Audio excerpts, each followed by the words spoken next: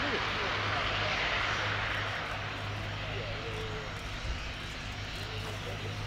no đúng lắm mày Dạ, mà vui